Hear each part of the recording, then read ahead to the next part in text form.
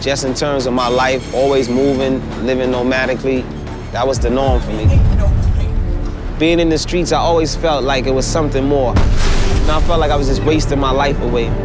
Back then, I wasn't really thinking about it. I was just surviving and just trying to make a way for myself.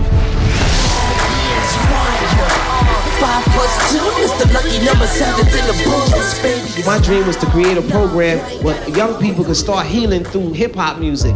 We, we need is people who are individuals who will write their songs about whatever is on their mind, knowing that people don't have enough of that social or political or uplifting material. If you're going through stuff in your life, that's what you need to put your music or your art about. That's what it got to represent. And that integrity is going to come through in the music. That's what people connect to. That's soul music. When my father left, I didn't know what was next. Dear daddy, hey, how you doing? I sent you $50. There was so much rage, so much anger, and it was like I didn't know how to get it out. They're introducing a cat that y'all assuming don't have any problems, but they building every day. Ever since I was young, I had a passion for music. This is something I want to do, you know what I'm saying? I know that in my heart. Is this thing on?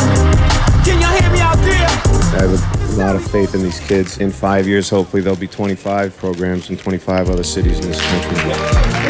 I hope that the message that we putting in this album really gets heard. It's important that it's not all about selling drugs and having guns. To use music as a tool for healing, to use music as a tool for inspiring. That's what music is supposed to be used as anyway.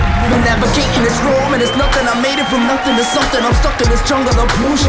Brooklyn is buzzing, but guns to the drugs and the guns to nothing. It's fun about fighting to keep your lungs pumping, running, ducking, cause it's against the supposed to be